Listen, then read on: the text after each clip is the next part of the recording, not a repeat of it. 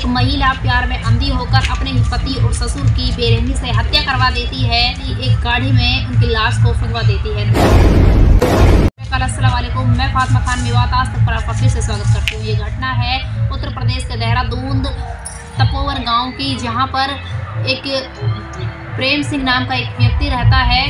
प्रेम सिंह का एक बेटा होता है राजेश। राजेश की पत्नी दीपिका और उनका एक आठ साल का बेटा हँसी खुशी रह रहे होते हैं। लेकिन एक दिन ऐसा आता है कि उनका परिवार उजड़ जाता है, उनका परिवार बिखर जाता है। जी हाँ राजेश एक कंपनी में जॉब करता है और जब वो जॉब करता है तो उसकी जानकारी काफ़ी लोगों से हो जाती है। वहाँ पर योगेश नाम का एक व्यक्ति भी होता है।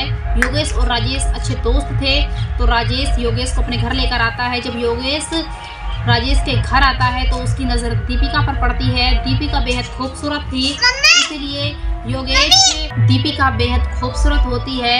इसी बात दीपिका बेहद खूबसूरत होती है तो योगेश की नज़र उस पर पड़ने लगती है। योगेश के इशारे दीपिका की तरफ़ बढ़ने लगते हैं और दीपिका भी योगेश की तरफ़ आकर्षित हो जाती है। दोनों में प्यार प्रसंग चलने लगता है। योगेश अक्सर दीपिका के घर पर आया करता है। राजेश को बिन बताए और बात यहाँ तक पहुँच जाती है कि वो दोनों एक दूसरे से संबंध भी बना लेते हैं। जब दीपिका और योगेश संबंध बना रहे होते हैं एक दिन तो राजेश को जब घर आता है, ये बात पता लगती है। उन दोनों को वो इस हालत में देख लेता है कि नग्न अवस्था में दोनों एक दूसरे से लिपटे हुए हैं। तो राजेश को बेहद गुस्सा आता है, योगेश को डांटता है, फटकारता है, अपने घर से निकाल देता है और दीपिका को भी डांटता है, फटकारता है और दीपिका की पिटाई भी कर देता है। दीपिका की जब पिटाई करता है तो दीपिका को गुस्सा आ जाता है। दीपिका फ़ोन उठाती है, योगेश के पास फ़ोन मिलाती है। योगेश से कहती है कि मुझे अपने पति के साथ नहीं रहना, मुझे तुम्हारे साथ रहना है। तुम कुछ ऐसा करो जिससे मैं तुम्हारे साथ रहूँ। तब योगेश प्लानिंग बनाता है राजेश को रास्ते से हटाने की। राजेश एक दिन रात को अपने घर में सो रहा होता है। तभी दीपिका योगेश को फ़ोन कर कर बुला लेती है क्योंकि उन्होंने उन्होंने पहले से ही प्लानिंग कर रखी थी राजेश को मारने की।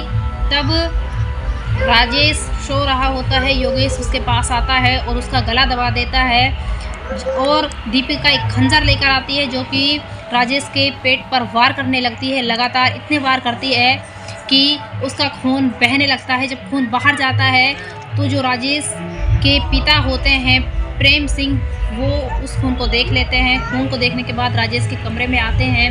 राजेश की हालत को देखते हैं कि योगेश और दीपिका राजेश को मार रहे हैं। ये देखकर वो चिल्ला उठता है और जो पड़ोसी जो लोग होते हैं, वो प्रेम सिंह की आवाज़ सुनकर वहाँ पर आते हैं। और जब वो लोग आते हैं, उससे पहले ही दीपिका और योगेश प्रेम सिंह को भी मार डालते हैं। सोचते हैं कि अब इसने सब कुछ देख लिया है, ये बाहर जाकर कहेगा तो क्यों ना इसको भी रास्ते से हटा दिया जाए।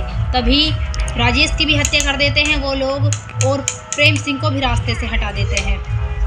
गाँव वालों को ये बात पता चलती है कि योगेश और दीपिका ने प्रेम सिंह की और राजेश की हत्या कर दी है। तब वो पुलिस को इन्फॉर्म करते हैं, पुलिस आती है, दोनों को अरेस्ट करती है और दोनों को जेल पहुँचा दिया जाता है। यहीं पर इस घटना का अंत हो जाता है। दोस्तों, यदि आप हमारी इस वीडियो को फेसबुक पेज पर देख रहे हैं तो हमारे पेज को लाइक कीजिए शेयर कीजिए। यदि इस वीडियो को यूट्यूब पर देख रहे हैं तो हमारे चैनल को सब्सक्राइब कीजिए और बेलाइकन घंटी को दबा दीजिए।